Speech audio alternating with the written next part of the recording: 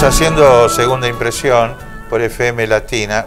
Yo le digo, hoy creo que vamos a tener una situación gremial, porque se fue Carlos Ponce del gremio de los plásticos y ahora nos acompaña eh, Marcelo Periale del Sindicato de la Carne. Un sindicato que para los argentinos es muy sentido este de la carne, pero bueno, eh, coyunturalmente estamos abriendo eh, un espacio diferente, porque Marcelo Periale también es concejal electo de la ciudad. Bienvenido, Marcelo. Bueno, muchas gracias, Willy, por la, por la invitación, un lugar muy, muy ameno, muy cómodo. Ah, Así que, ¿Se siente cómodo? Sí, ah, contento por la invitación. Bueno, eh, Marcelo, digo, has estado acompañando todo el tiempo, has visto cómo nos hemos desarrollado. Quizás habrás visto, este, habrás revaluado tu, gestión. Mientras nosotros hablábamos, vos pensabas, ¿y yo cómo estaba? ¿Cómo está el sindicato de la carne hoy? La industria, hay, que separar la industria de la carne. Está la industria de la carne exportadora y la industria consumera. Que a nivel país, en números de trabajadores de la carne, este, es mucho mayor la industria consumera en, pueblos, en ciudades chicas, ciudades grandes, hay, hay este frigorífico de 20 trabajadores, como de 100 o 150, que es para tránsito federal. Bueno, eso están terminados. Nosotros hemos bajado en el país este, una importante cantidad de kilos per cápita de lo que se venía comiendo, consumiendo. Y sí, la, la, exportación, por ejemplo, el frigorífico Marfrig, que tenemos acá en la, en la ciudad, está trabajando como nunca, hay que decirlo. O sea, este, mientras la mayoría de las actividades, lo vemos en el parque industrial, lo vemos a nivel nación, las fábricas este, que, están cerrando, este, que están suspendiendo, largando de vacaciones, justamente por el por dos temas. Uno, la, la, la, este, la importación, la apertura de las importaciones indiscriminadamente y este, el receso económico que hay, la falta de consumo este, entonces, decir que ande bien el frigorífico en un país donde se come mucha menos carne, bueno, explicarle a la gente, claro. que hoy ve cómo está trabajando el frigorífico es porque es exportador. Pues fíjate, en la época del gobierno anterior, cuando era secretario Guillermo Moreno, secretario del Interior, armó la mesa de ganados y carne, que se llama, que se reúnen todos los viernes. ¿Quiénes se reúnen? Las cámaras representativas del sector, la Federación de la Carne, y la Secretaría de Comercio. Bueno, en muchas reuniones, no en todas, ¿no? De todos los viernes, pero muchas reuniones asiste el presidente de la Nación, Mauricio Macri, ¿no? que le da una importancia este, eh, muy importante a la industria de la carne. Bueno, ahora tiene que ver porque su mamá, los Blanco Villegas, bueno, son dueños de entre el 70 y el 80% del ganado de la provincia de Buenos Aires. Ah, muy importante. Este, claro, eh, yo creo que este, no hay una buena política de ganados y carne. Traigo a mención esto porque se cuestionaba mucho el gobierno anterior. Sí. Y lo que pasó con los frigoríficos. Sí, sí, cuando cerró el círculo de consumo interno. Exacto. preservar el consumo interno, en definitiva. En el gobierno anterior, 40 millones de argentinos, como siempre digo, comíamos carne todos a precios razonables. Hoy de esos 42, muchos no comen o comen salteado, ¿no? El consumo. yo creo que este, el, gobierno que venga, que, estoy seguro que va a ser el de Alberto Fernández, ya con el diario del lunes, ¿no? con, este, con esta experiencia que estamos teniendo con este gobierno, y la anterior no fue buena, hay que decirlo. Este, esperamos que tengamos un este, balanceado, ¿no? que se pueda exportar, se puede exportar, pero también que los argentinos podamos Vamos a este, consumir. Vamos a consumir carne, es una ah. cosa loco, este, los precios, y la gente lo sufre.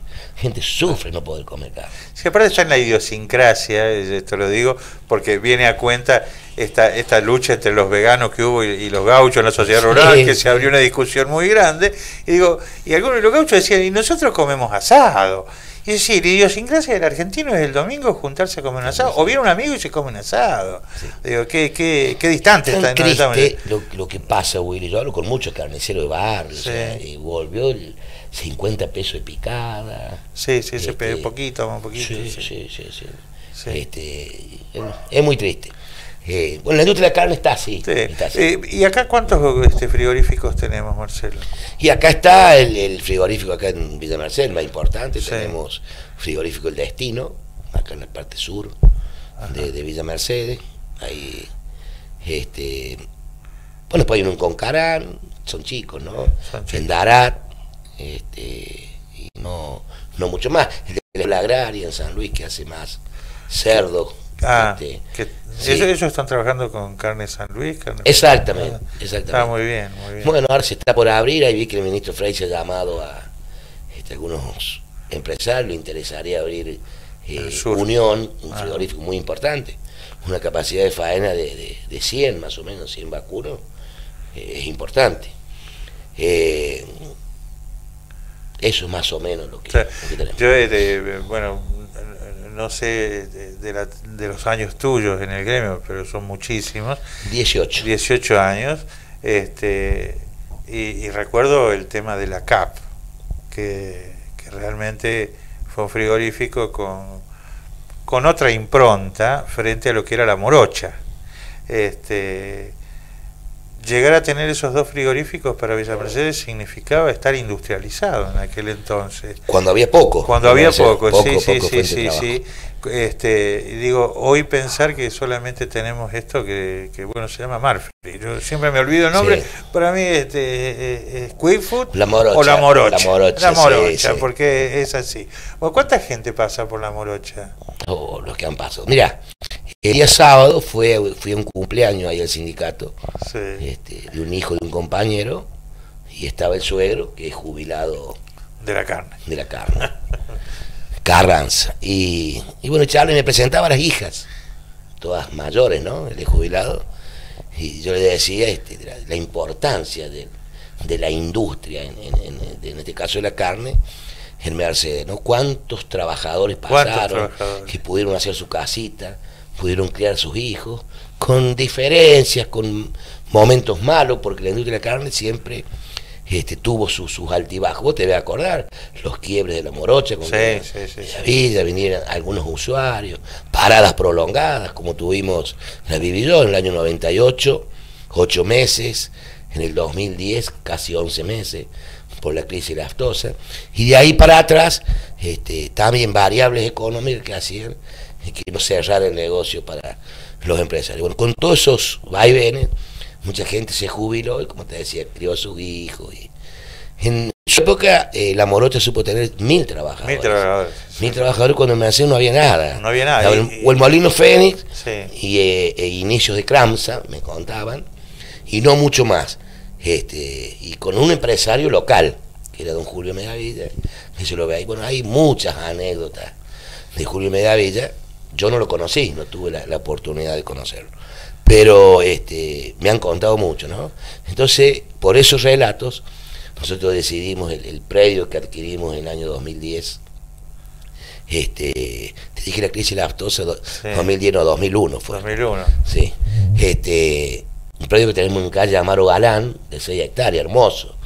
Lo estamos este, cada vez mejorando más le pusimos Julio Medavilla. en homenaje al, fundador. Cuando yo esto lo comento en Buenos Aires, mi federación, me dicen, ¿cómo vas a poner ese nombre de un... Del dueño de la empresa. de un empresario. Entonces yo les contaba por qué los juzgados me lo habían este, sugerido. Este, bueno, fue el primer empresario en la provincia que exportó. O sea, no, no, no había habido otra actividad de ningún rubro que hubiese exportado algún producto al, exterior. Eh, le dio para hacer claro, de comer a mil familias, ¿no? Y, cumplió una función social. Una función social. Porque yo tengo anécdotas este, recibidas de vía, vía familiar, que había gente que trabajaba y decía, don Julio, me está faltando para la ventana y la puerta del frente de la casa que me hice. Quédate tranquilo que lo vas a tener. Y cuando veían, le había llegado la puerta y la ventana. Y anda a decirle a ella, a ver cómo te lo des cuenta. Claro. Págalo como puedas. Sí, exacto, sí. resolvamos esto, porque era primero el trabajador, ¿no? Antonio Rojo, un ex secretario general que estuvo trabajando con nosotros en el sindicato va a ser dos años en noviembre, dirigente muy que falleció. Y bueno, y lo, lo nombro y, un pequeño homenaje, ¿no? Un gran dirigente, un compañero, un gran amigo. Cuando él fue secretario general en la época del proceso, este, Sí, creo que en la época de los militares fue. Este, hay una anécdota, se estaban, estaban las canchas bochas, viste, que tenemos atrás, y le faltaba el techo. Entonces en una asamblea con los afiliados dicen, bueno, pidámoselo al gallego, decían los, los trabajadores.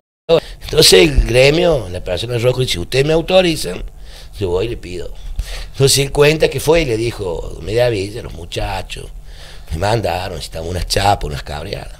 Y se ve que don Julio estaba con algunos problemas, lo sacó sonando. Ah.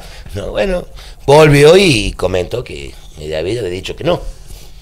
Y bueno, ¿y cuál es lo, la anécdota linda, no? Que a los dos días cae un señor Ramelo, que era este jefe de mantenimiento, buscando rojito, que lo mandaba don Julio Mediavilla a tomar las medidas de para poner el techo. Y a los 10 días tuvieron el camión con el techo. Bueno, eso era don, don Mediavilla. Sí, sí. Sí, la verdad, y el frigorífico inserto en la sociedad Villa Mercedina. Sí, totalmente. Eh, eh, vos sos de, de la estación, de la zona estación. Sí, yo nací en el barrio Teodoro Fels. Teodoro Fels. Balcarce 1338. Ajá. Del Partido Justicialista. Un poquito más. No, el Partido Justicialista es 1338. Claro, un cachito. Pero por calle Balcarce, este, mis abuelos paternos no los conocí, los maternos sí vivían en Paraguay 84, al lado del taller de Jorge Libac. Al lado de los Libac. Claro, así que bueno, me quedaba toda esa zona esa es tu zona de influencia. Sí, club colegiales, este, soy de Pringles, pero concurría a los dos. porque están cerquita, hay que decirle a la gente. Jugaba el fútbol en Pringles y iba a la pileta colegial. Este, el Palacio de los Deportes, este, la, la Fénix, sabemos ir a veces al... Este, bueno, ahí, ahí, ahí me crié, un hermoso barrio. Hermoso barrio. Lindo recuerdo de los vecinos. Eso, eso te iba a decir. Vos, vos lo viste crecer, porque un barrio, este, bueno, que tuvo ciertas prioridades, tuvo pavimento, tuvo cloaca, agua, eh, mucho más rápido que otros. Eh, Teníamos un presidente la vecinal, que vos lo debes conocer, una excelente persona, Martín Pempus. Pempus, Por Balcarce antes de llegar a, a la calle Teodoro Fel. Ah, Teodoro Fel, sí, sí. Tenía La, la, mercería. La mercería Don Pempus. Oh, sí, una, yo era chico y me acuerdo siempre de traje, corbata este, bueno, él era el presidente de la vecinal, obviamente. Seguramente era electo por unanimidad, ¿no? sí, nadie lo discutía. Nadie lo discutía. eso sí, así. Y eran vecinales que realmente eh, andaban y... El rol social de la vecinal, que es importante. Sí, un poco se ha perdido. Sí, ¿no? Se ha este, politizado en algunos casos. Sí, y, se ha desvirtuado la esencia. Digo, vos vas a ser concejal a partir del 10 de diciembre. Este, estás mirando un poco las barriadas y sus cuestiones, sus necesidades, porque el concejal va a ser la voz del vecino, pero tiene que generar este, leyes y ordenanzas principalmente que acomoden la convivencia entre los vecinos, ¿no? Mira, yo soy, soy siempre fui andariego, ¿no? De, andar, tengo este, muchos amigos en, en, el centro y en los barrios, en la periferia. Pero ahora me ha tocado más por la campaña, jugando justamente por el San José, el Güemes acompañando, y 14, claro, acompañando a nuestro candidato Carlos Ponce y la compañera Massina. Y bueno, hay muchas necesidades, de, principalmente hoy este, la gente no te reclama el, bache, porque es como que no quiere darte dos problemas, le quiere dar uno. uno. es que no puede pagar el uno, puede pagar el gas, no le alcanza para comer, no hay trabajo. Este, y si bien desde el municipio, desde el Consejo Deliberante, no hay muchas herramientas para poder solucionar semejante problema que son la fuente de trabajo, pero a lo mejor algo se puede hacer, idear, ¿no? Con los comerciantes, este, el cinturón verde, que siempre se habla del cinturón verde y no se termina nunca, ¿no? Podrían ser salidas. Y después también, este, principalmente en campaña, nos pedían, cuando caminábamos con Maxi, este, de placita, asfalto, eh, luminaria, que por ahí no es, eh, no, es mucho lo que pide este, el vecino, lo que tiene que ver en, infraestructura, ¿no? Creo que hay que ponerle un poquito de ganas. Después el problema social, como te contaba hace rato, venía escuchando a Carlos Ponce, que lo tuviste anterior a mí, este, la necesidad que hay en la Y yo creo que el municipio también puede. Hoy vemos que el municipio por ahí a través de es una forma, ¿no? No lo voy a cuestionar, no estoy de acuerdo. El municipio por ahí asiste a, familias este, de muy escasos recursos que están viviendo este, mal, hacinados, eh, con la chapa o con el cemento, con la arena y lo, y lo deja ahí. ¿no? Y cuando tenés la chapa apilada para te echar una pieza y, te vino la boleta de luz y, no tenés, vendés la chapa. Vendés la chapa. Este, entonces yo creo que hay que... Es que sucede. Hay que poner, tenemos compañeros que lo quieren hacer, este, gente del plan solidario que con mucho gusto lo hace. Eh, yo creo que eso va a ser lo que más me va a gustar este, trabajar. Después en el ordenamiento también. En un momento, por ejemplo, las motos, bueno, a algún chico no le va a gustar de la moto, habían ganado la Plaza San Martín. La verdad que no, no, no me gusta eso, porque había familias que no podían ir, bueno.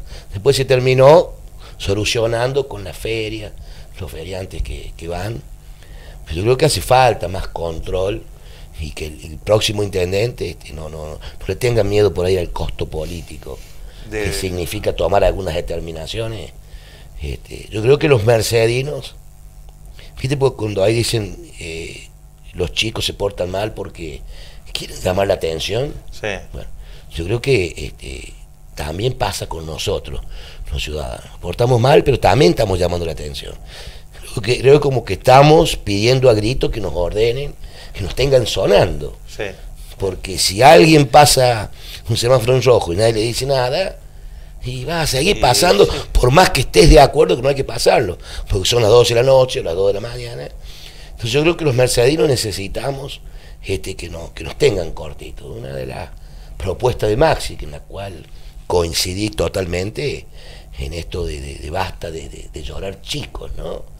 De, ah, jóvenes. el joven a veces es víctima de su edad, es víctima de, su adolescencia, es que todos hemos tenido una besita por ahí volada, ¿no? Entonces, este, a veces los padres no los pueden cuidar, o, sí, no sé, el chico sale, bueno, a toda velocidad y, este, bueno, y ahí está el rol del, del municipio, ¿no? También a lo mejor en comunión con la policía de la provincia, pero el principal contralor es, el municipio. Eh, vos ves otras ciudades como Río Cuarto, San Luis mismo, San Juan, este que he visto que eh, el motociclista que no anda con casco, no anda, no, no, no anda, y, el exceso de velocidad. Y, eso todo trae aparejado no solamente el dolor de una familia, de una sociedad, sino también que se podría, este, eh, ¿cómo decirlo?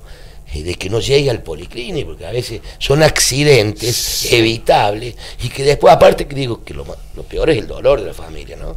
Este, implica también sobre recargar el hospital. Que, es un gran reclamo, ¿no? Porque, exacto, exacto. El hospital dio una alerta rojo de cuál es la situación que tiene y los costos. Los costos, claro. De, los accidentes para, para la que salud se entienda bien, alguien se accidenta, el Estado, pero por supuesto, por supuesto. Pero hay, hay accidentes que son evitables, justamente este, con controles. Este, y esas estrellas amarillas que se ven, uno por ahí no se acá fue otro, acá fue otro, uno las va viendo, ¿no? La verdad que son muchos, muchos los este, los, los accidentados. Y bueno, y también que el municipio salga, salga a los barrios, hemos visto, porque también la actual gestión ha hecho esas placitas en los barrios, simples, ¿no? Con esos banquitos que ya vienen de hormigón. Vienen prearmados. Claro, premoldeados, se llama, este, con una hamaca, un subivaso, un, arco, un poquito de hormigón y un aro de básquet. Este, que, está bárbaro. Y sirve, sirve para Exacto que sirve. Bueno, habría que potenciarlo con algún profesor, este, hay, hay, hay, chicos bueno que no tienen, a veces por la distancia, lo que sale el colectivo. Bueno, de ir a un club, hacer eh, Ese es un tema urticante que, que, diste. El tema del transporte. Hoy, sin el subsidio, eh, ha generado un, shock, un impacto, y actualmente la municipalidad se ha hecho cargo de una parte. Digo, eh, ¿qué, ¿qué visualizás que podemos resolver con el transporte?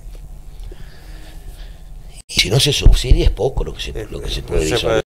Mira, yo en relaciones laborales lo he vivido, he vivido muchos conflictos donde han estado tanto el gremio, el municipio y la, y la, empresa. Eh, la empresa que, que está en la sede jodida. Ah, es difícil. Sí, es difícil, es difícil. Pero bueno, en los números algo de razón, o mucha tiene, tiene, es enviable este, si no es subsidiado, o de lo contrario tiene que salir 100 pesos el, boleto. y no lo va a subir nadie. Bueno, es un tema complicado. Yo creo que, este, y justamente esto ya nos lleva al tema nacional, justamente lo que ha provocado este gobierno. Y no es solamente con el transporte público, es con la energía, es con el gas. Si los tarifas no. Pero esto es una cosa loco lo que ha hecho este tipo. Porque yo, muchos no lo dicen a esto que yo voy a decir, o yo no lo he escuchado. Este, que en el gobierno anterior vivíamos gratis, que nos subsidiaban, que nos bancaban. Yo tengo 51 años. Y como te decía, yo este, nací en la calle Valcarce. Y el gas, el gas, yo he tenido, calculo, 15, 16 años cuando pasó el gas. Y mi papá era un laburante. Y la verdad que nunca me, no, me acuerdo este, de, que renegaba tanto para pagar el gas y la luz. Pues acordar que yo, oh, vamos a tener que cuidar un poquito, mira lo que vino. Pero no era lo que es ahora. O sea, que siempre el Estado Nacional ha subsidiado. Estuvo asistiendo. Eh. Estuvo asistiendo, estuvo asistiendo. Esto es una, una, una, es sangriento, por decirlo de alguna manera. Este, bueno, esa es la transferencia de recursos.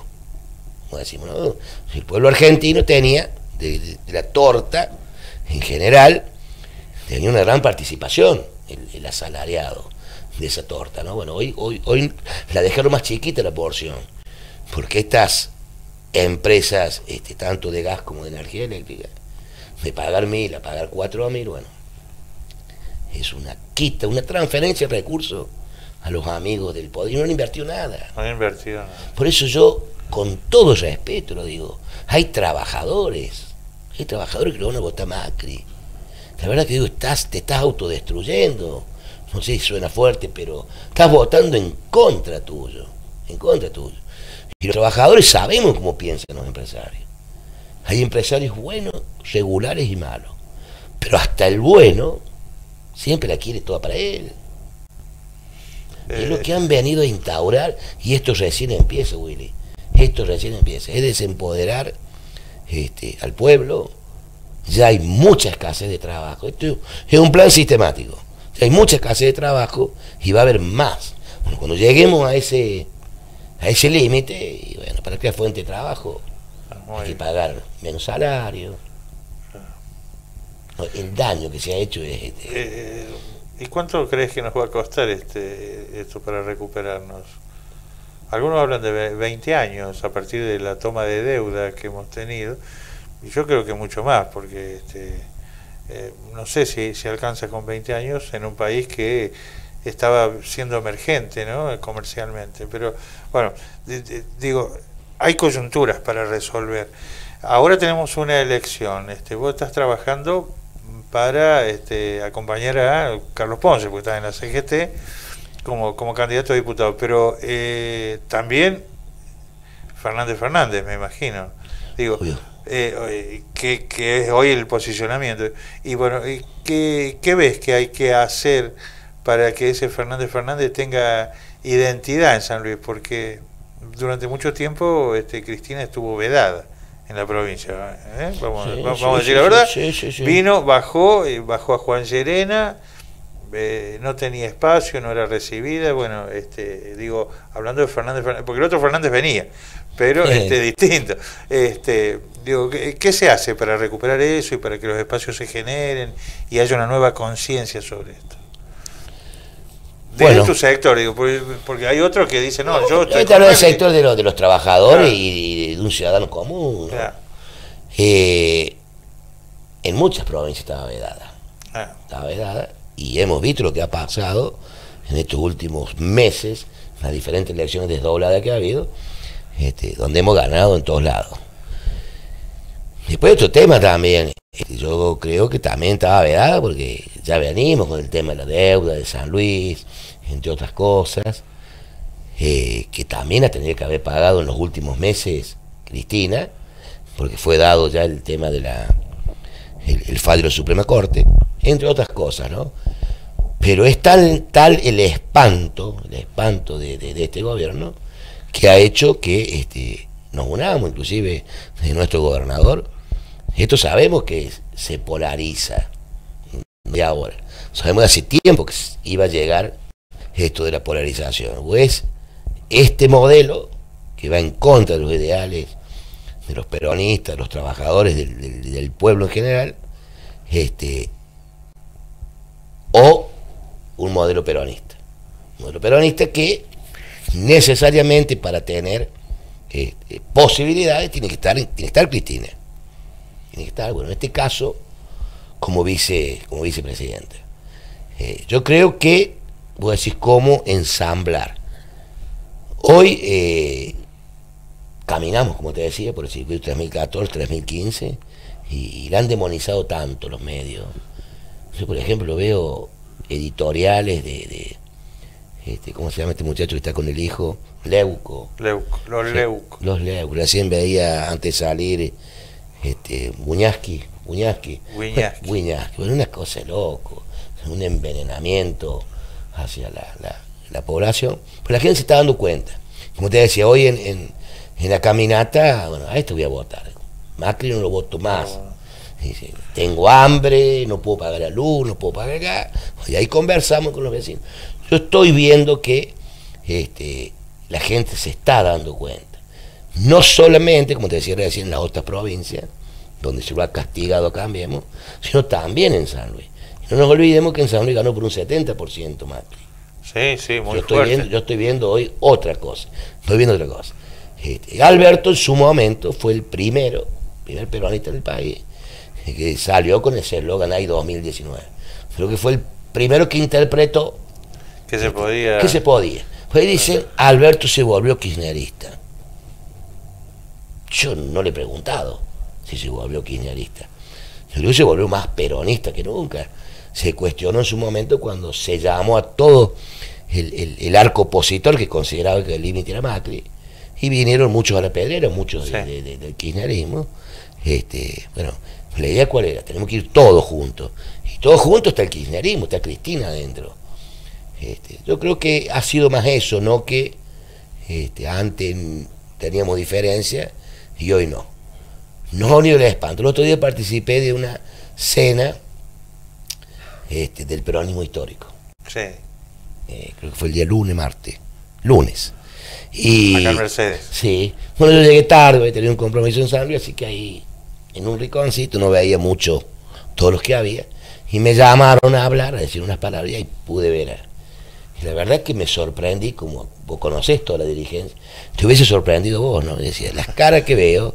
La, la, conozco, pero quiero que digas vos, este, ¿quiénes son los históricos? Esto, esto lo, no, no, pero no del peronismo histórico, sino este, dirigentes, este, por ahí militantes estaban en otro partido o, ah. en otra fracción, que hoy estamos todos juntos. Bueno, yo decía, esto lo produjo Macri. esto lo produjo Macri. Los peronistas siempre, yo digo, cuando estamos gordos, gordos en general, estamos bien, en el país, nos empezamos a pelear, empezamos a hacer divisiones. Si no me gusta lo que dijo el Willy, yo armo una agrupación, el otro arma otro grupo. Este, pero cuando pasa este tipo de cosas, este, nos empezamos, bueno, y hoy estamos todos, peronistas de centro, peronistas de derecha, peronistas de izquierda, este, bueno, eso es lo que es Macri, bueno, y eso es lo que ha interpretado este, el gobernador, que había que estar acá. Eh, digo, hablaste de los históricos, te, pregunté, vos dijiste, no, no, no, no, pero digo, hay un sector que tiene ah, historia y que, sea, que se reúne y que está trabajando y que, y que es saludable porque eh, cuando decimos histórico estamos hablando de personas mayores, eh, en edad y, todo, y militancias que vuelven por esta coyuntura que vos, que vos, marcás, que es importante. Em, eh, ¿Ya viste cuál va a ser la conformación que tendrá el Consejo con, con, con la incorporación tuya, este, con la incorporación de otros que representan el sector? Este, ¿Sabes cómo queda la división? Sí, todos estamos iguales, vamos a quedar porque se eh, se renuevan tres. Y bueno, somos tres los que, los que entramos, ¿no? Después, bueno, ahí queda, eh, bueno, viene Rosales, Nadia Torres, va a estar en, en nuestro, nuestro bloque. Ahí queda Rosales este, y la escribana Soria, eh, que son peronistas, son peronistas. Este, si bien han ido por otro partido, veremos que, como dicen los chicos, veremos qué onda. ¿Qué onda? ¿Qué, onda? Pero no, son dos excelentes compañeros. Oscar y su esposa son dos amigos. Este, pero bueno, sería bueno. Maxi tiene muy buenas intenciones, muchas ganas de, este, de trabajar, ¿no? Con 40 años recién cumplidos. Eh, y Vero, Vero que se va a recuperar y va a ser nuestra viceintendenta, que bueno, este, yo creo que va a ser un consejo deliberante lindo, en su mayoría jóvenes y de mediana, de medio siglo. De sí, no, está bien, claro, de mediana target. Este, yo creo que eh, Pablo Murat, un excelente concejal, ¿no? Un excelente concejal, creo que va a estar. ¿Cómo, ¿Cómo se conjuga eso, si vos me lo podés explicar, Pablo Murat, con la CGT, con ustedes, trabajando mucho, eh, con Mercedinos con el cambio? Eh, con Adolfo y ahora eh, con Alberto, todos juntos, pero digo, que no es del sector. Parte no, no, Pablo Murat es de la comisión directiva de, de, UDA. De UDA. Exacto, él ah. participaba en CGT por estar en el gremio de UDA. Ah. No es secretario general, es parte de la, de la comisión. De hecho, unos aportes, pero muy buenos a la CGT, desde su visión, desde su ideología. Este, bueno, hoy está un poco más, diríamos, alejado por su función, este, pero eh, Pablo Morales es un amigo de la CGT. Ah, claro, sí, sí, es un compañero de la CGT. Sí, porque se lo ve ahí, digo, porque estaba Jorgito Lazzarini, que es de UDA, el, secretario, y bueno, uno va viendo cómo se dieron algunas cuestiones. se van armando, Claro, cómo se, se, va armando. ¿Cómo ves esto de la CGT conformada en Villa Mercedes, con proyección y con cargos electivos y cargos de función pública? Porque vos estuviste en relaciones institucionales. Relaciones laborales. Laborales. Sí. Laborales. Estás, estás ahí, estás ahí. Este, ¿Está Zapata también? No, no Zapata está en... que es otro gremialista. Esa Zapata está en, en programa de, de, los municipios. De los municipios. Me acuerdo bien, no, tiene el nombre completo. Bueno, y Cookie hizo la linde en relaciones laborales en San Luis. En San Luis. Bueno, eh, ¿cómo ves esto? Que la CGT tuvo esta participación eh, tan importante, que, es un poco salir de lo que es estrictamente la cuestión laboral, de, los ámbitos de la industria, de la empresa, y entrar en, la construcción de, bueno, es lo Que, es lo que escribió Perón, ni más ni menos. Algunos gobiernos este, peronistas lo llevan a la práctica y otros no. Bueno, Alberto siempre eh, dio lugar al peronismo en San Luis. En algunos momentos vamos a hablar del 83 la fecha, ¿no? De esta historia, más lugares y otras veces menos. Pero yo creo que interpretó a partir del 2015, que fue electo, de, los tiempos que se venían, llevar un hombre de los gremios como, como Carlos Ponce, de vicegobernador, eh, ni más ni menos. Este, todos sabemos que a algunos les puede gustar más o menos la gestión, ah. pero que estuvo a la altura de las circunstancias de sobremanera. No, y aparte generar, la, digo, gobernador y vice, es mitad y mitad, esto es, eh, exacto, coyunturalmente mm. No, se divide, porque Ponce preside la Cámara de Senadores, que en esto de la bicameralidad que tiene la provincia, senadores viene a estar llamado a ser la Cámara definitoria. Porque todo se inicia por diputado y termina en senador. Ahí está el vice. Bueno, no, me parece interesante. tenemos un senador, un senador provincial. Sí. provincial que también, si bien no pertenece más, pero surgió del. ¿No pertenece más a CGT? No. No, no, no, no. no, ah, Está, bien. Este, en el caso mío, bueno, electo, electo concejal. Creo que es importante la participación en los lugares que se nos da. Y creo que estamos a la altura de la la circunstancia, aparte el dirigente gremial, que tiene una visión muy, muy particular este, de, lo que pasa. Este, eh, nosotros tenemos un problema todos los días. todos los días tenemos problemas con nuestros afiliados, con la fábrica. Este, con la obra social. con las obras sociales. Este, siempre estamos ahí en el, en el cara a cara con, con nuestros nuestros afiliados. Eh, ¿Qué quedó aquello de las 62 organizaciones peronistas, que era el brazo político que utilizaba el peronismo con el gremialismo? ¿Se puede dar acá o no? Sí, sí, hay que ponerse, ¿no? Está Barrio Nuevo, sí. ah. a nivel este, nacional, bueno, sabemos. Barrio Nuevo gastronómico. Exacto. Que y medio macrista. Sí. Bueno, no, no, bueno, lo dije yo. no, sí, como no lo voy a decir.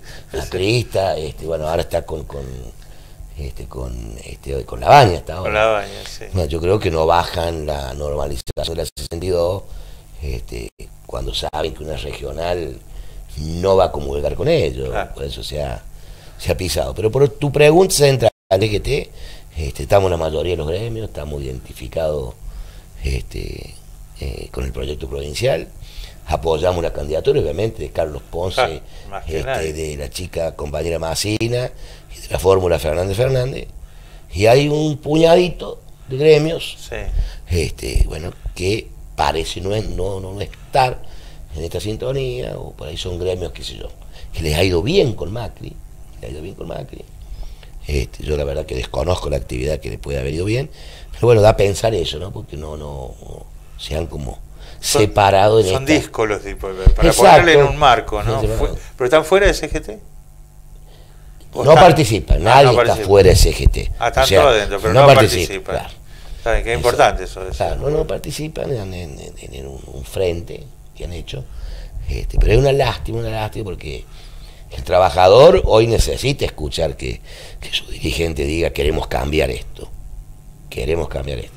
Hoy tenemos diputados nacionales que no nos representan, que han votado en contra, no del peronismo de Alberto, han votado en contra de los intereses del pueblo. ¿no?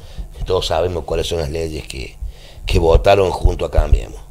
Este, entonces, bueno, un gremio que está sufriendo, porque votar el tarifazo significa que lo sufre el trabajador. Claro, termina en el bolsillo del Entonces, si no apoyo a nadie, bueno, el que calla otorga.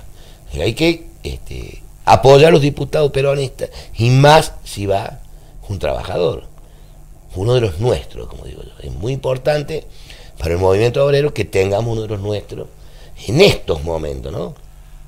Que puede haber reforma laboral, que, tantos cucos, aparte de los que ya tenemos, que andan volando por el aire, bueno, este, que tengamos un, dirigente gremial comprometido y monitoreado, obviamente, por nosotros que somos los que, lo que lo llevamos, ¿no? que, digo, el fin último es el bolsillo del trabajador, eso es indudable. Este, bueno, Marcelo, no estamos quedando sin tiempo, yo sé que vos también andás, este, siguen trabajando ustedes de campaña, porque se van de acá y siguen y, y no, ahora me voy a descansar.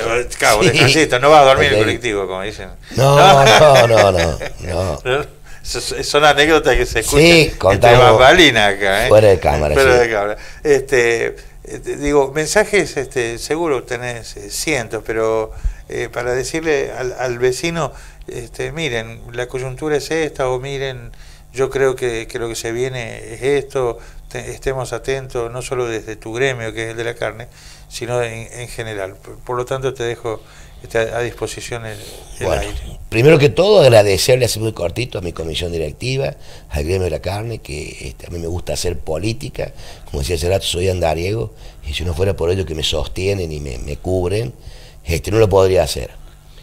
Segundo, este, tenemos elecciones el, el 11 de agosto, eh, que son las primarias eh, es importante, es importante el peronismo, no solamente el peronismo de San Luis, el peronismo nacional, este, encarnado en este caso en la fórmula Fernández Fernández, ganemos las, ganemos las elecciones.